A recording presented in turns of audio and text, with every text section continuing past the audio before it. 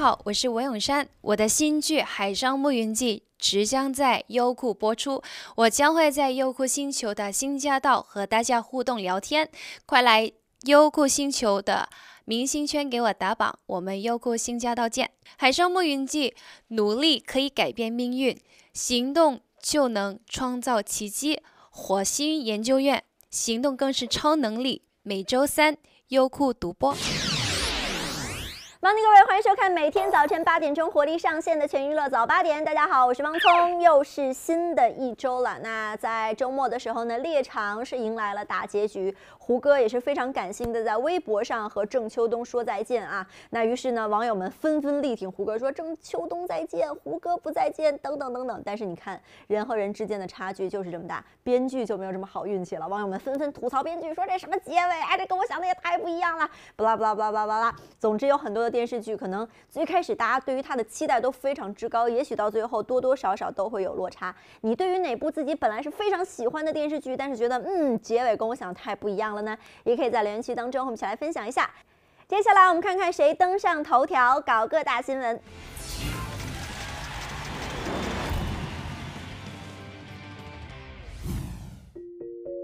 何洁贺子铭离婚案近日在京开庭，本以为两人早已一别两宽，没想到两人的离婚官司现在才刚刚打响。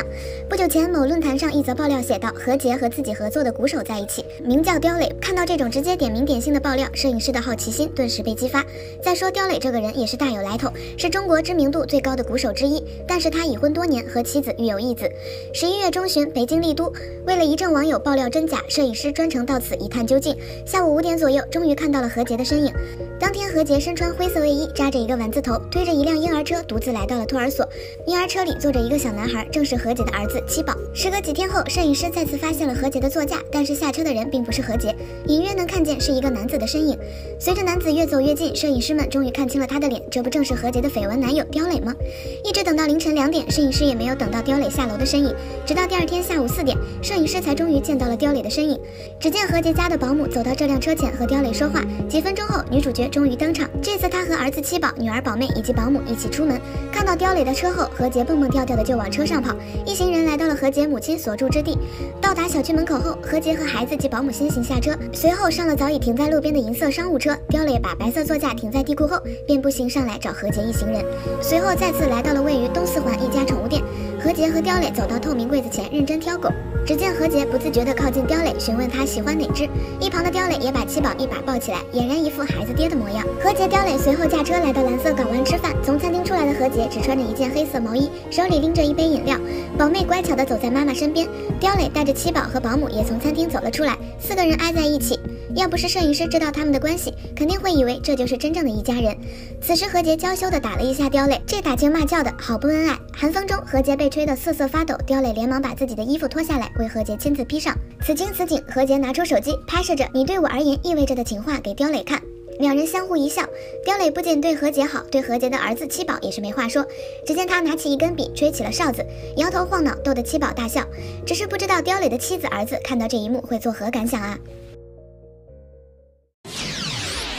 即便是娱乐圈已经如此艰难，我却偏要拆穿的放点猛料。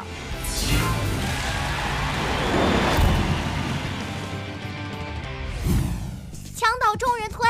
蛊惑万人锤，白百合手指开挂之际，也是她口碑扑街之时。不过舆论刚刚平息，也和被传嫌弃她的范爷愉快同框。谁知有网友扒出她十九岁时一组广告的照片，照片里百合上身玫红色抹胸，露出小蛮腰，不仅身材凹凸有致，这柔韧性也不容小觑。当时广告片的指导还是张艺谋，so 里面也是少不了一些失身旋转 play 画面。有网友感叹：没想白百合竟也曾是某女郎啊，十九岁就放飞自我，一点也不害羞啊，喷子直接。吐槽，这是天性，也叫基因。呃，姐只想说，谁的锅谁背，基因一脸懵逼，好吗？还好喷子不遗传啊。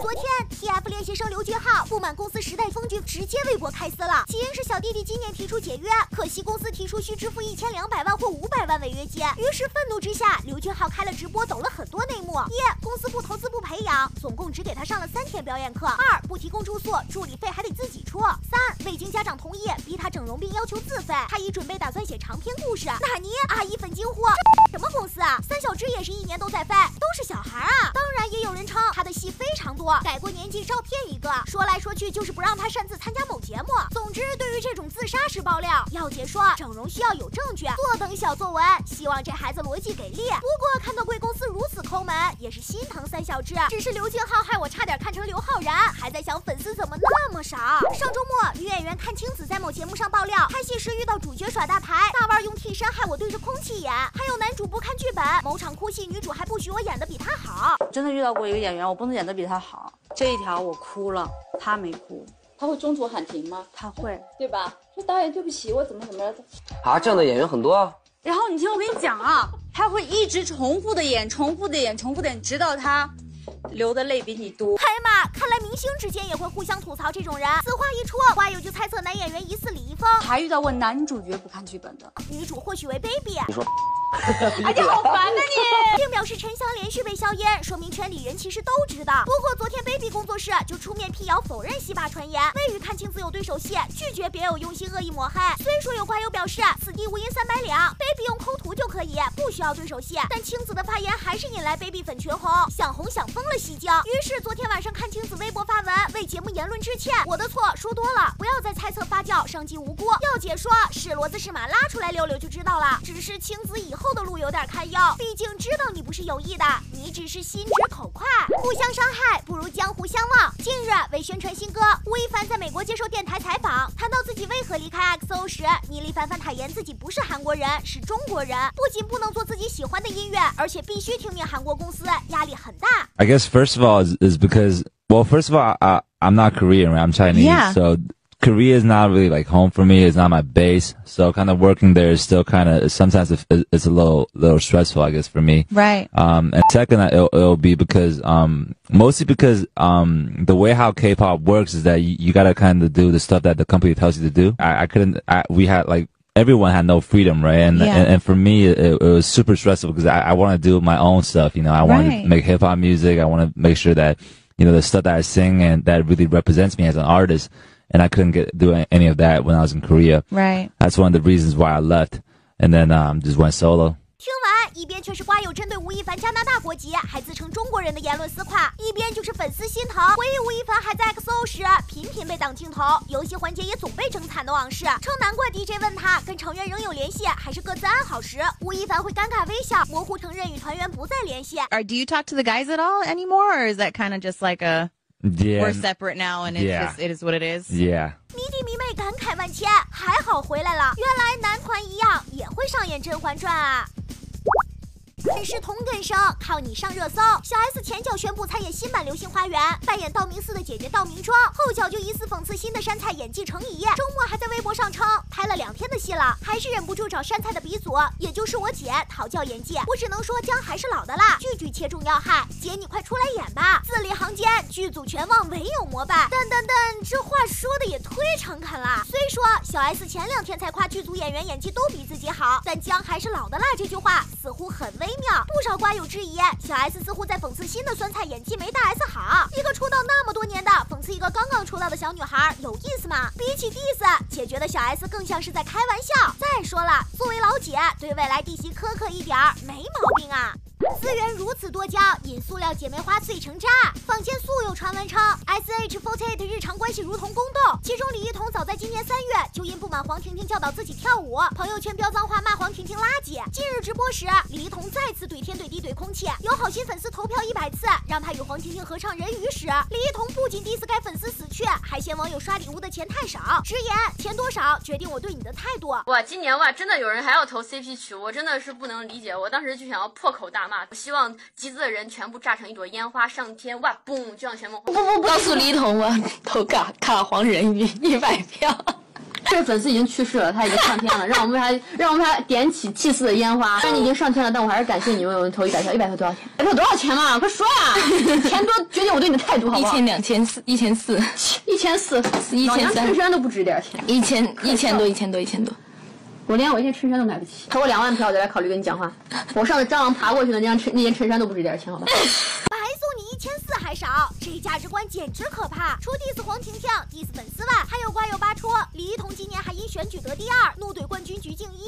这个座位，明年一定是我的，而且只要我坐上这个座位，我就不会轻易下来的。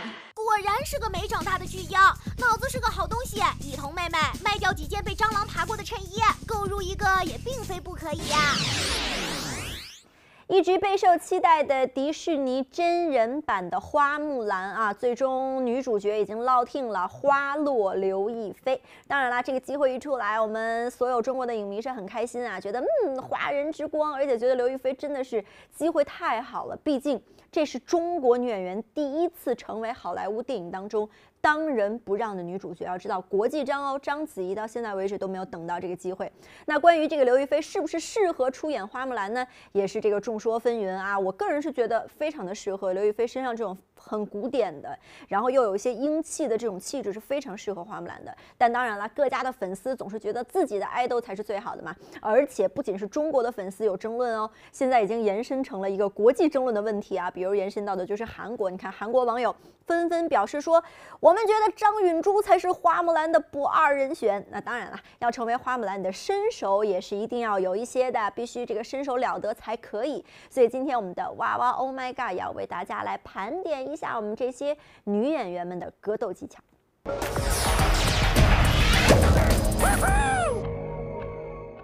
谁说女子不如男？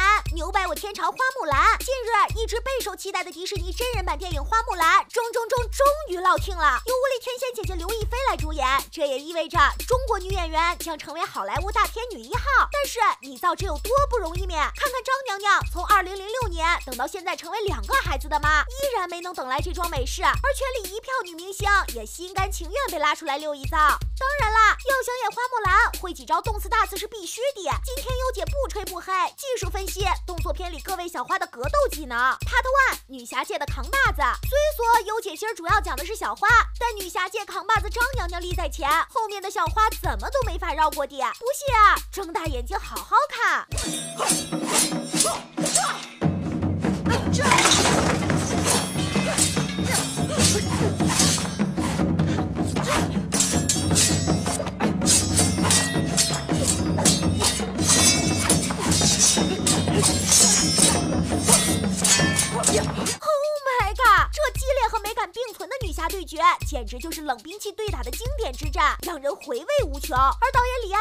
过，这场戏演员们不能偷懒，必须很卖力的表演。张娘娘也一战成名，随后在《英雄》《十面埋伏》等大片中包揽女侠的角色，甚至在事业快要胡萝卜时，章子怡凭借一代宗师的宫二打了一场漂亮的翻身仗。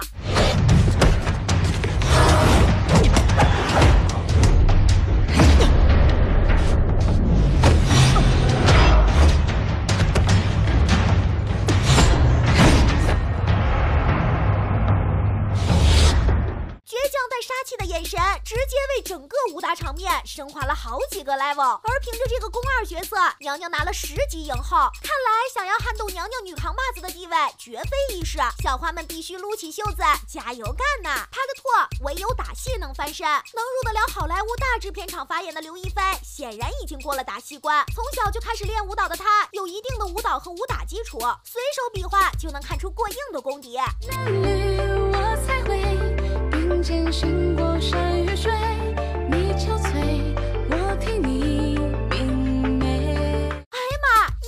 裙风飘飘，动作干净利落，有如行云流水，表情高贵冷艳，一副生人勿近，偷偷的惊艳到优姐我了好吗？跟李莫愁在空中散那一段三百六十度后空翻，空中再竖一字马，没有任何支撑，完全靠自己腰腹力量上去的，却依然美若仙子。想想陈妍希的五魁首六六六，优姐笑出了猪叫声。而刘亦菲之前在电影《功夫之王》里饰演侠女金燕子的片段也被粉丝扒出，从花絮里就能确定不少高难度的动作都是他亲自上。在这个脸替都不算事儿的时代，粉丝们感动的疯狂套。有网友就曾说他打戏超好看，小花第一没有之一。虽然被他的文艺片伤害过，但他如果出演打女，我肯定会花钱买票贡献票房的。童贤，你实现诺言的机会来了哟他的帅担当侠女不用吹，自打出道就总被拿来跟刘亦菲比较的刘诗诗，演起打戏来也是让粉丝花式舔屏大写的服。虽说两人都是学习舞蹈出身，打起动作戏来也都行云流水，棒棒的。但刘亦菲的打戏是刚柔并济，而刘诗诗